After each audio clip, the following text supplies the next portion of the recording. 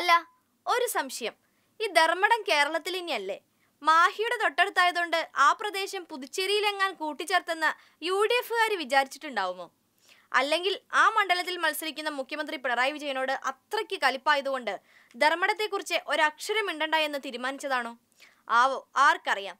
എന്നാലും നാളിത്രയായിട്ടും ആ മണ്ഡലത്തിൽ സ്ഥാനാർത്ഥികളെ നിർത്താൻ യു ഡി എഫ് മടിക്കുന്നത് എന്തിനാണെന്നാണ് ഒരു പിടുത്തവും കിട്ടാത്തത്. മുഖ്യമന്ത്രി ധർമ്മടം മണ്ഡലത്തിൽ ജനങ്ങളെ കണ്ട് വോട്ട് അഭ്യർത്ഥിച്ചും പൊതുയോഗങ്ങളിൽ പ്രസംഗിച്ചും ആരവം സൃഷ്ടിച്ചു കഴിഞ്ഞു. കേരളത്തിലെ സ്റ്റാർ ക്യാമ്പയിനർ പിണറായി വിജയൻ അല്ലാതെ മറ്റാരുമല്ല. അതുകൊണ്ട് കേരളത്തിലെ എല്ലാ ജില്ലകളിലും ജനങ്ങളുമായി സംവദിക്കാനുമായുള്ള അദ്ദേഹത്തിന്റെ യാത്ര ഇന്ന് വയനാട്ടിൽ നിന്ന് രാവിലെ തന്നെ തുടങ്ങിക്കഴിഞ്ഞു ഇനി എല്ലാ ജില്ലയിലും മുഖ്യമന്ത്രിയുടെ പര്യടനമാണ്. എൽ ഡി എഫ് മാർച്ച് പത്തിന് തന്നെ എൺപത്തിമൂന്ന് നിയമസഭാ സീറ്റുകളിലേക്കും മലപ്പുറം ലോക്സഭാ തെരഞ്ഞെടുപ്പിലുമുള്ള സ്ഥാനാർത്ഥികളെ പ്രഖ്യാപിച്ചു.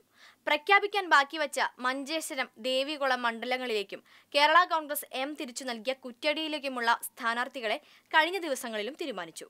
അവരടക്കം എല്ലാ എൽ ഡി എഫ് സ്ഥാനാർത്ഥികളെല്ലാം മണ്ഡലങ്ങളിൽ പ്രചാരണത്തിലും സജീവമാണ്. ജനങ്ങൾ എൽ ഡി എഫ് സ്ഥാനാർത്ഥികളെ ആവേശത്തോടെയാണ് വരവേൽക്കുന്നത്.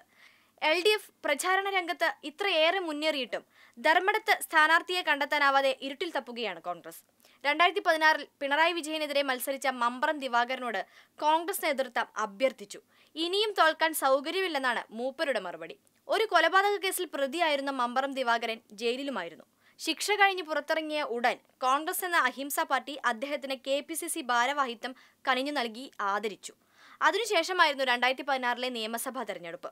ആ തെരഞ്ഞെടുപ്പിലും ദയനീയമായി തോറ്റതുകൊണ്ടാവണം ഇനിയൊരു അംഗത്തിന് ബാല്യമില്ലെന്ന ദിവാകരൻ അങ്ങ് തിരിച്ചറിഞ്ഞത്.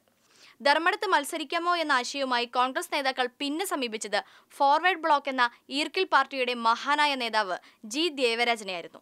ദേശീയതലത്തിൽ ഇടതു സഖ്യത്തിന്റെ ഭാഗമായ ഫോർവേഡ് ബ്ലോക്കിന്റെ അഖിലേന്ത്യ നേതാവായ താൻ C P M polit bureau അംഗത്തിനെതിരെ മത്സരിച്ചാൽ ശരിയാവൂല എന്ന് പറഞ്ഞ് ദേവരാജൻ നൈസായി സ്കൂട്ടായി കേരളത്തിൽ ഫോർവേഡ് ബ്ലോക്ക് എന്ന പാർട്ടിയിൽ നേതാവായും അണിയായും ദേവരാജൻ മാത്രമേ ഉള്ളൂ എന്നറിഞ്ഞുകൊണ്ട് എന്നെ എന്തിനാ ഇങ്ങനെ ചോദ്യം ചോദിച്ച് വിഷമിപ്പിക്കുന്നത് എന്ന സങ്കടത്തിലാണ് ദേവരാജൻ ഇപ്പോൾ.